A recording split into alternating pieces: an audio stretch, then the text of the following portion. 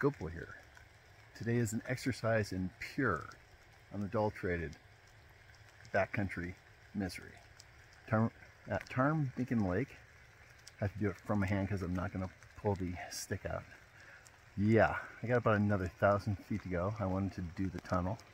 Snow's wet, it's about 40, 42, pissing down rain. Everything is soaked. Trails turn to streams. Still enough snow on the trail to twist an arm, leg, something on it there like that. And you know there's animals here, hungry. So sometimes it's not all about mountaintops. Sometimes it's just about sucking it up. GoatBoy out.